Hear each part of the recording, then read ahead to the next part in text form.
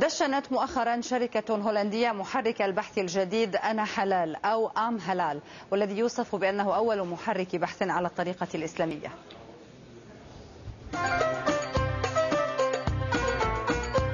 أنا حلال. أم حلال. أيا كان اسم هذا المشروع فهو يكتسب شهرته من الصبغة الإسلامية التي أرادها له البعض أن يتحلى بها خصوصا وأن هذا المشروع سيطلق في شهر رمضان.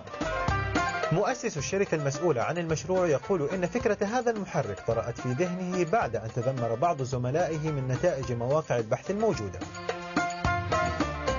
موقع البحث الجديد آم هلال يصادق على محتويات المواد الإباحية في الموقع ويحجبها عن العرض على المستخدم.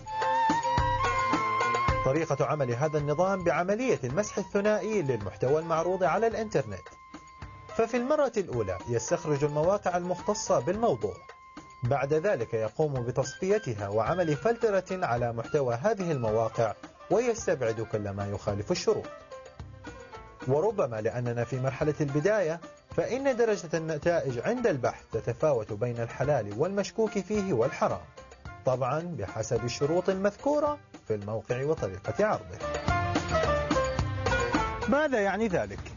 يعني أن هذا الموقع ما زال في مرحلته الأولية وسبب إطلاقه للعلن هو الاستفادة من آراء الناس ومقترحاتهم لتحسين الجودة في هذا الموقع. من العربية سلطان بتاوي